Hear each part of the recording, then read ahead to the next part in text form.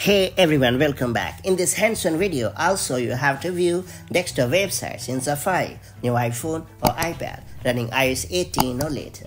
Whether you are dealing with a website that isn't optimized for mobile or need access to desktop-specific features, this trick will come in pretty handy.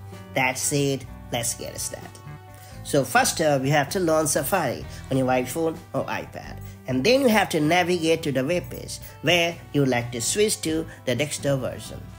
And once the page has loaded up, look at the bottom of the screen for the menu bar and then you have to tap on the menu icon at the bottom. And then you have to tap on the triple dot icon located in the bottom right corner of the screen. From here, select Request Desktop Website option. Instantly, the page will reload and display the desktop version of the site. You will now see a layout similar to what you would get on a computer, thereby giving you access to any desktop-only features. And if you ever decide to return to the mobile version of the site, don't worry because it is just as simple. Simply tap on the menu icon again, followed by the triple dot icon, and then select request mobile website. The page will reload, reverting back to its mobile-friendly format. And that's pretty much it. This quick and easy method ensures you can switch between mobile and desktop websites effortlessly right within Safari.